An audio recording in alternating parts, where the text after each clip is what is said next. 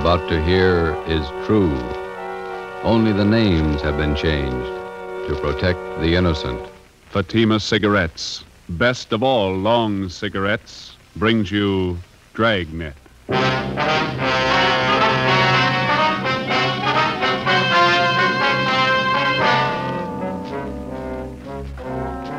You're a detective sergeant. You're assigned to homicide detail. A confessed murderess is paroled from the state prison for women. After seven months, the parole office loses contact with her. Your job, find her. If you want a long cigarette, smoke the best of all long cigarettes. Smoke king size Fatima. Fatima is the long cigarette which contains the finest Turkish and domestic tobaccos superbly blended to make Fatima extra mild. And that's why Fatima has a much different, much better flavor and aroma than any other long cigarette. That's why Fatima has more than doubled its smokers coast to coast. So enjoy Fatima, the best of all long cigarettes. It's wise to smoke extra mild. Fatima. It's wise to smoke extra mild Fatima.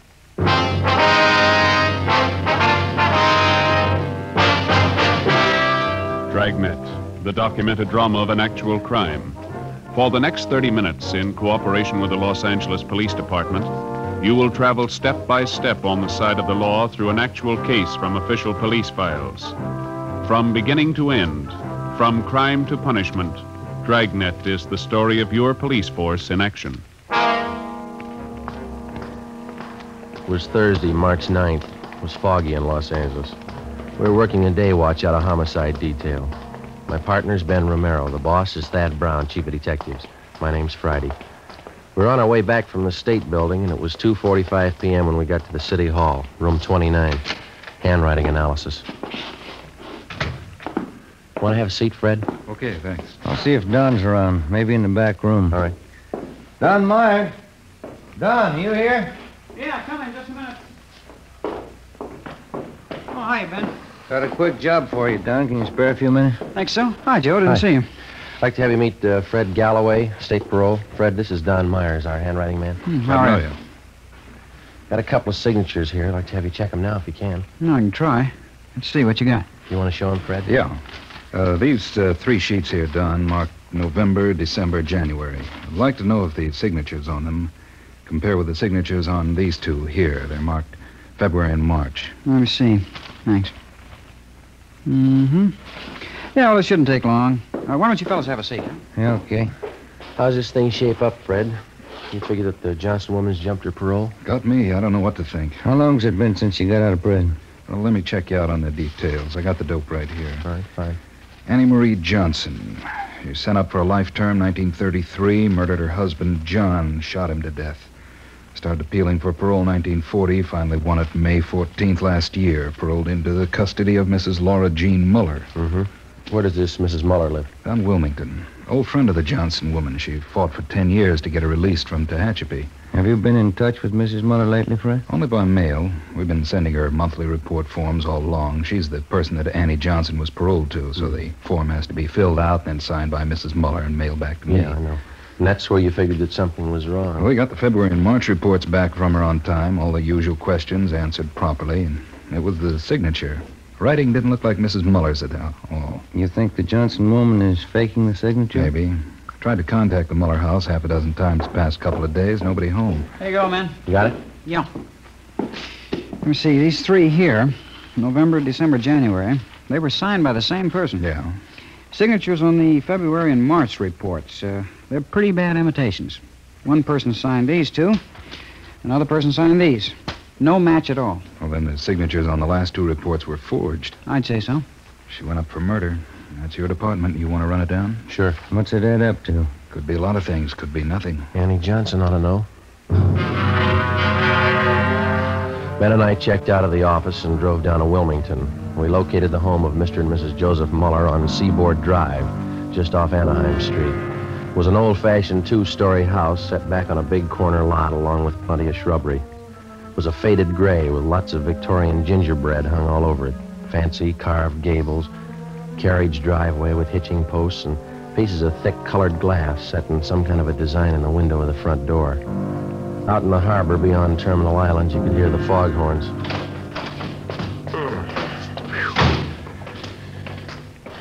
They sure get the fog out here, don't they? It's pretty thick today.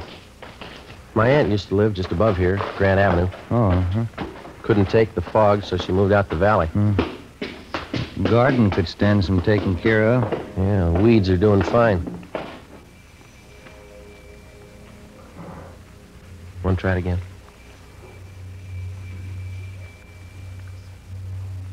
What do you think? Let's try the neighbors, huh? Yeah, all right. That house across the street must be somebody there. I saw a woman shaking a dust mop out the window when we drove up. All right. Kind of a bleak looking spot up here on the hill, isn't it? Not many houses around. Yeah, and this fog's doing nothing for me. Chills you right down to the bone. What's the name on the mailbox there? Let's see. Miss Flora Carpenter. Well, maybe she can tell us something.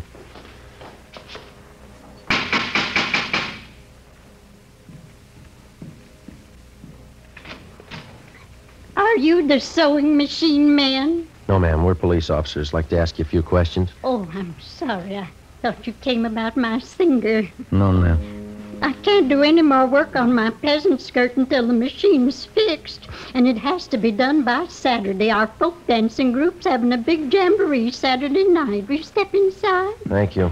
This is Sergeant Romero. My name's Friday. Oh, how do you do? Oh, fog's so refreshing, isn't it? Very vitalizing. Yes, ma'am. Are you acquainted with Mr. and Mrs. Muller across the street, Miss Carpenter? The Mullers? Yes, I've known them for years. And uh, they have an Annie Johnson living with them? Yes, one of my very good friends. She's employed as a housemaid for the Mullers, is that right? Well, I guess you could call it that. Actually, she's more of a companion to Mrs. Muller since poor Mr. Muller got sick. What's his trouble? His mind. Poor man just lost his senses. He's at the state hospital at Norwalk. Mm-hmm. When did they send him there? Let me see. This is March. It must have been last November. Yes, became violent. Do you know where Mrs. Muller is now? In the sanitarium out near Pasadena. Not well at all. And um, Annie Johnson, is she still living at Muller's house across the street? Oh, yes. She went downtown to do some shopping today. Did she say when she'd be back? Well, no, she didn't, but we have a meeting of our book appreciation club at 8.30 tonight here at my house, and I certainly don't think she'd miss the meeting. I see. Miss Carpenter, do you happen to know the name of the sanitarium where Miss Muller's staying? Garraway's. That's what Annie told me. Garraway's rest home out by Pasadena. Mm-hmm. Have any of the neighbors been out to visit her? Well, no, we haven't. Annie said the doctors there thought it'd be better if Mrs. Muller didn't have visitors. I see. I wonder if you'd tell us where we could find a public telephone in the neighborhood. Oh, you can use my phone, Sergeant. It's right back there in the hall. Fine, thank you. I'll call him, Joe. All right. I'll have the operator charge it to our office. You sure you can find your way back there, Sergeant? It's right under General Pershing's picture. Yes, ma'am. No trouble. Mm. I was just thinking, Sergeant Friday, Yes, ma'am. would you know anything about repairing sewing machines? No, I'm afraid not. Oh. Well, Fluffy, there you are. this is Anna Johnson's cat, Sergeant. Isn't he simply gorgeous? Look at that fur. Yes, ma'am. Nice cat. Genuine Persian. Annie brought him with her when she came to live with the Mullers. Did uh, Mrs. Johnson and Mrs. Muller always seem to get along fairly well together to you? I mean, no arguments? Oh, my, no. Annie's the easiest person in the world to get along with. All us girls in the neighborhood just adore her. Uh, Joe. Did you talk to sanitarium? Yeah, I double checked the name. Yeah? Mrs. Muller's not there. They never heard of her. Ben and I left and interviewed some of the other people in the neighborhood. They all had the same high opinion of Annie Johnson as Miss Carpenter did. They all had the impression that Mrs. Muller was under doctor's care at the Garraway Rest Home in Pasadena. Annie Johnson told them so. We found out that Mrs. Muller had one other living relative besides her husband, a niece, Lorraine Muller. She lived out on Norwich Drive in Beverly Hills. 5.30 p.m. Ben and I drove back to the office and made a spot check of every private rest home and sanitarium listed in the Los Angeles area. Mrs. Muller wasn't at any of them. We called the state hospital at Norwalk, and they informed us that Joseph Muller was there, having been committed the 2nd of November the previous year. He was critically ill. We put in another call to the Muller home. Still no answer.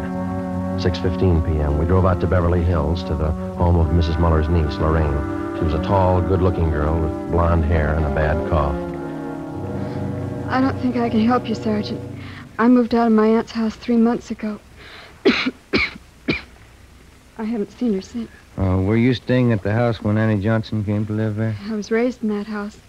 Mother and Dad died when I was a baby, and Uncle Joe and Aunt Laura took care of me. They're wonderful people. Would you mind telling us why you moved? I don't mind. Everything was fine until Annie Johnson came. I didn't get along with her. We fought all the time. Oh, is that so? I don't know why. I just didn't like her. when Annie moved in, she took over the whole house. Oh, what's the connection between your aunt and Mrs. Johnson? Any blood relationship no, there? No, Annie was a school chum of Aunt Laura's. When they sent her to prison for killing her husband, she wrote for help. And your aunt helped her? She worked for 11 years at it. I don't know how much money she spent. Lawyers, you know. Yeah. she finally got Annie parole. And then uh, she took Mrs. Johnson on as a housekeeper, is that right? Yeah. And she never did any work. She acted like she owned the house. Like my aunt and uncle owed her everything they'd done for her. When's the last time you heard from your aunt? It was a few months ago, around Christmas time. I called her up to wish her a Merry Christmas. You have no idea where Mrs. Muller might be now? Some friends that she could be staying with, maybe? No. Aunt Laura only has a few friends. They all live in the neighborhood. She's not in the habit of going off without telling anyone, is she? No, never anything like that. I don't understand it. Something must be wrong. Annie, do you think she's done something? Do you? No, she couldn't have. She owes everything to Aunt Laura. Her freedom, a good home, nice clothes, money. Everything my aunt could give her. Some people are like that. If it's free, they never get too much. Before we left Lorraine Muller's house, we got the name of her aunt's lawyer. We had dinner at a lunch counter on La Cienega, and then we drove back to Wilmington to the Muller house. Lights were burning in the front windows. The fog was thick now.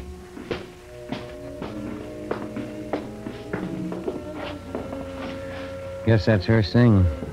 Yeah. You want to ring the bell? Mm-hmm. Can you see in through the curtains, Joe? Yeah, she didn't hear it. Let's ring it again.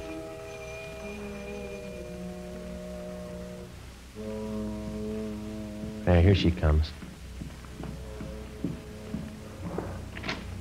Yes? Are you Mrs. Johnson? Yes, that's right. What is it? Police officers, our identification. Oh. Yes, won't you come in? Thank you, ma'am. Thank you. We'll go in the parlor, shall we? All right. No. For February and March, Yes? we think the signatures on those two reports are forged. Oh, those. Mm-hmm. Oh, yes. I, I don't know what to say. I, I really didn't think it was that serious. I knew the reports had to be sent in. Did you sign Mrs. Muller's name on them? Well, yes, I did. You see, Laura Muller's at a sanitarium now, resting up. Mm-hmm. I didn't want to bother her with all this business, so I signed them and put them in the mail. But forgery, I, I didn't think it was that serious. Mm-hmm. Which sanitarium is Mrs. Muller staying at? Garraway's. A very nice place. It's near Pasadena. She's been there about two months now. Have you been out to visit her yet?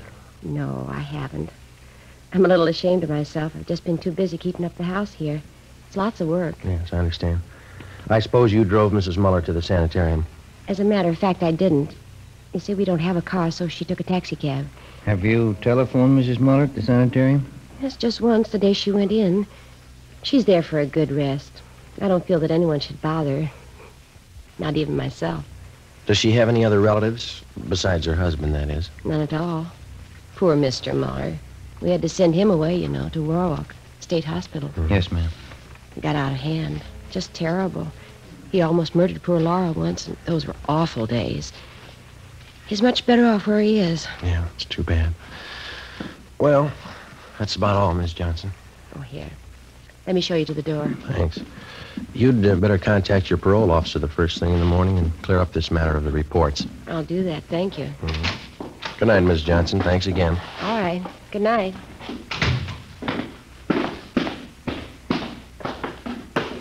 What time you got?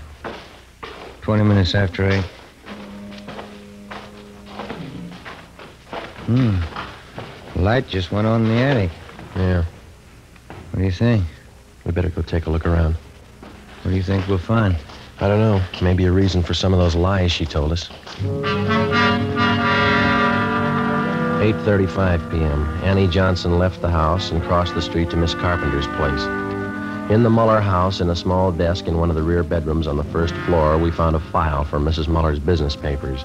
In the file, we located three of her insurance policies. There was one for 5000 and two for 3500 Each policy had a rider attached, changing the beneficiary from Joseph Muller, the husband, to Annie Johnson.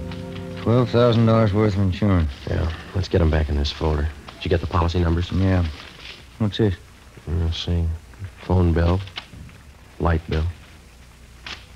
Here's one.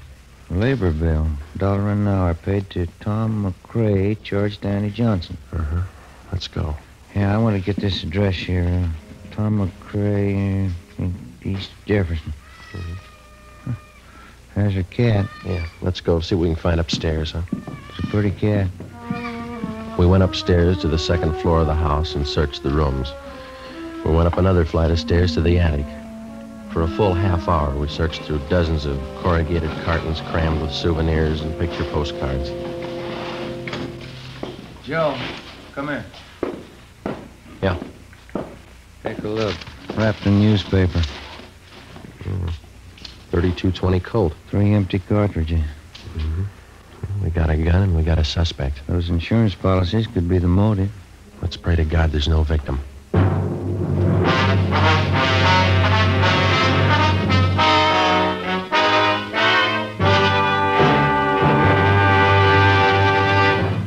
Listening to Dragnet for the step by step solution to an actual police case.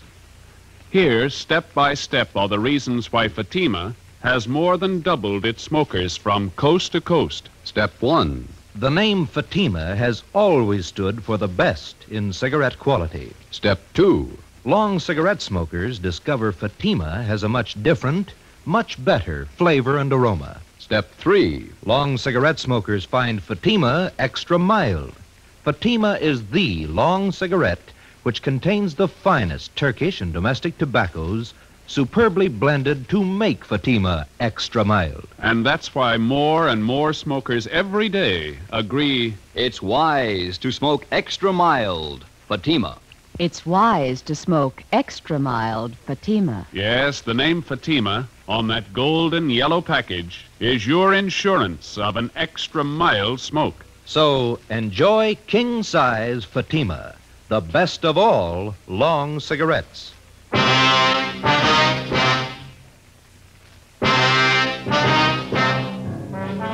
10 p.m.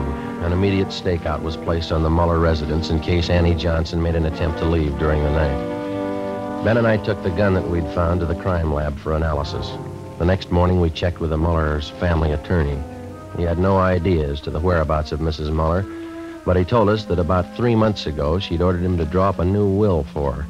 Under the new provisions, Annie Johnson was to be the sole heir of the Muller house and property, plus an additional $1,500 in bonds. Friday, March 10th, 11 a.m. While Ben checked with the insurance company, I met with Captain Elliott of Homicide. You got everything but a victim, huh? Where are you looking? We'd like to shake down the Muller house again before we look anyplace else. Didn't have a chance to give it a thorough going over last night. You're sold on the idea it's a Johnson woman? Looks like it. Sure it couldn't be a freak disappearance. No, sir, not in my book. Annie Johnson's got some big reasons for lying to us. I'd like to find them. How do you figure on doing that? Well, if we could pull her in and question her, just to get her away from the Muller place, I'd, I'd like to take a detail of men out there and shake the house from top to bottom. Mm-hmm. Just checked with the insurance companies that issued Miss Muller's policy. Yeah. And we got it right. Annie Johnson gets the door if Mrs. Muller dies. Oh. Something else. The changes in the policies were made during the last two months at her home. It doesn't jibe. Why not? Well, Annie Johnson told us that Mrs. Muller's been in the sanitarium for more than two months. Here's a mm-hmm. capper, Joe. What's that? Gil and Cenas went out to State Hospital at Norwalk to talk to Mr. Muller. Yeah? Joseph Muller died at 8 o'clock last night. Death from natural causes. What's that prove? Wait a minute. When um, when Joseph Muller was committed to the institution, Annie Johnson figured prominently in that commitment. She had a lot to do with sending him away. Didn't take any chances, did she? Annie Johnson is left with the house, the bonds, and the insurance money. She had all the answers. Yeah, all but the right one. While Captain Elliott called in Annie Johnson and questioned her, Ben and I, together with a detail of men from homicide and Lieutenant Lee Jones from the crime lab, drove out to Wilmington and started a thorough search of the Muller house. We took it floor by floor, starting with the attic. By 4 o'clock that afternoon, we had searched the attic and the second floor completely without finding any additional physical evidence. 5.30 p.m., still nothing. The fog was coming in thick now. Captain Elliott called and said the Johnson woman was on her way home. The search went on. Anyone check the cellar yet? Let's give it a look, huh?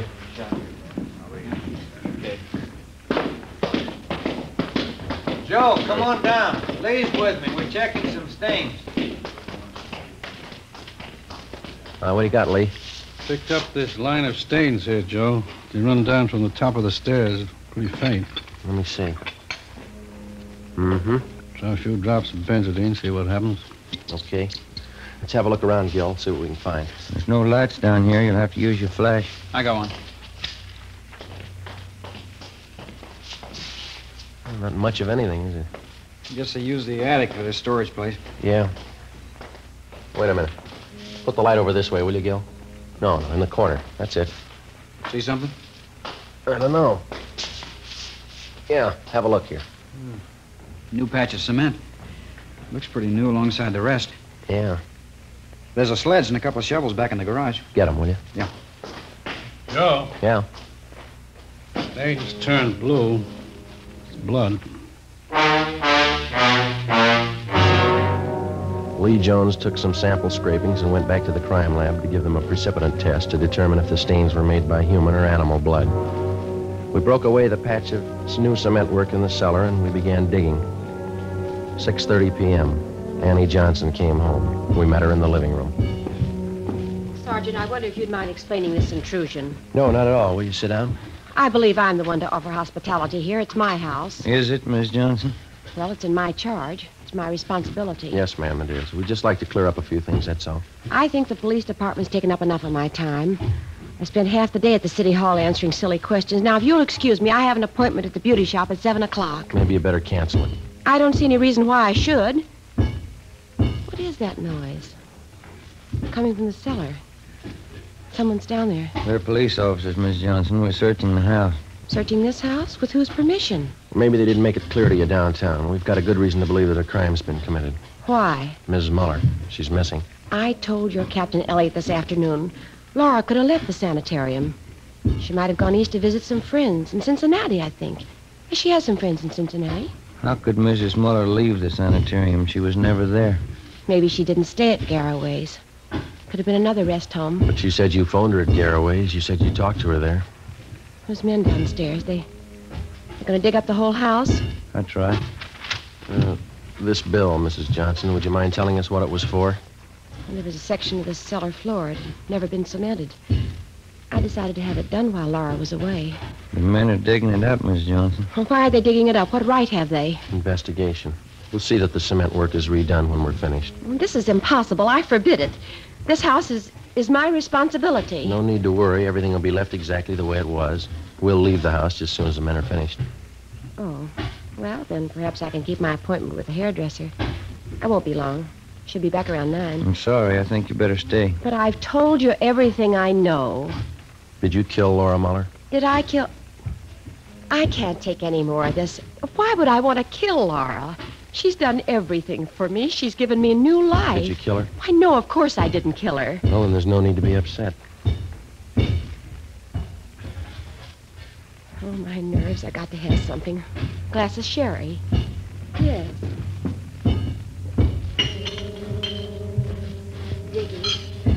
Long is it going to take them? That all depends, ma'am. There's no reason for this. You don't know that anything's happened to Laura. That's right. Laura's the best friend I have in the world. Eleven years. That's how long she fought to make them let me out of prison. She's the only one who believed in me. Yes, ma'am. She is. She's given me everything. She wants me to have everything, everything I want. I wouldn't have a reason for killing her. Why, my clothes, my home here, money, they're all Laura. She's given them to me. Would you like a glass of sherry, Sergeant Pratty? No, no thanks. You know, Laura was much older than I, Sergeant. She could have taken her own life. She didn't have much to live for. Old and sick. But I got everything to live for. Laura used to tell me that. So she gave me everything. Laura was much older than I. Would you care for a glass of sherry, Sergeant Romero? No, thank you. Whole thing's so silly. Laura's away on a trip. She's much older than I am, you know. I'm 38. You wouldn't take me for a woman 38 years old, would you, Sergeant? No, ma'am. I know I'm not really young anymore, but I'm still attractive, don't you think? A lot of men prefer mature women. Women with experience, background. I'd know how to take care of a man.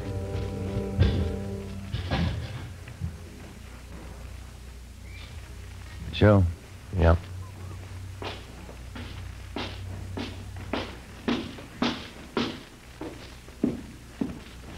Joe, come here, mate, will you?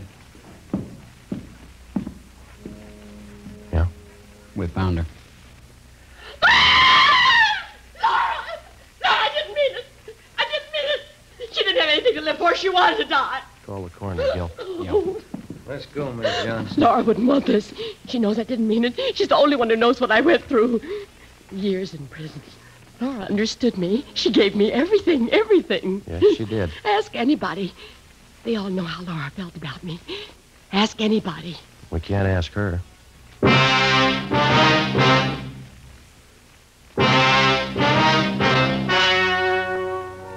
The story you have just heard was true. Only the names were changed to protect the innocent. On July 14th, trial was held in Superior Court, City and County of Los Angeles, State of California. In a moment, the results of that trial. It's amazing how many long cigarette smokers are changing to Fatima. Here is the actual report. From coast to coast, king size Fatima has more than doubled its smokers. Yes, more and more smokers every day are discovering that Fatima is the best of all long cigarettes. Long cigarette smokers find Fatima has a much different, much better flavor and aroma. Long cigarette smokers find that Fatima is extra mild because it's the long cigarette which contains the finest Turkish and domestic tobaccos superbly blended to make it extra mild. So enjoy extra mild Fatima. Best of all long cigarettes. It's wise to smoke extra mild Fatima. It's wise to smoke extra mild Fatima.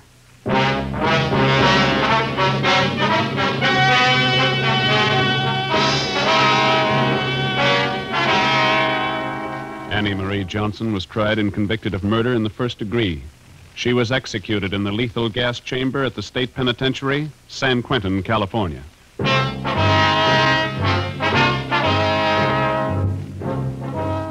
You have just heard Dragnet, authentic cases from official files.